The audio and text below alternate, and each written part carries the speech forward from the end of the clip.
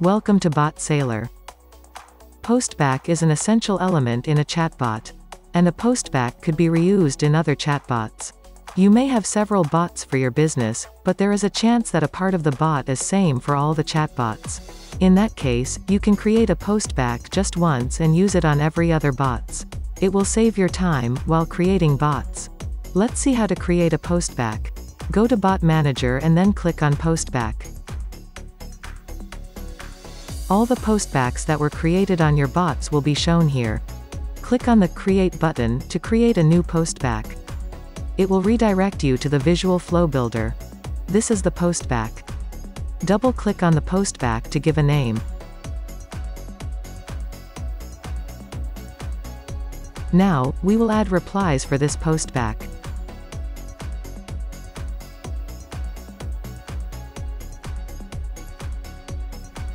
Finally, save it.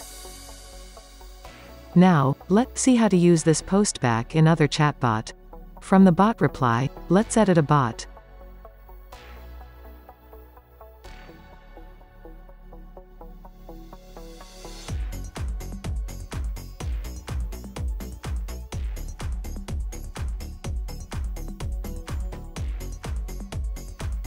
Double-click on the button to add a postback. Give a name for the button.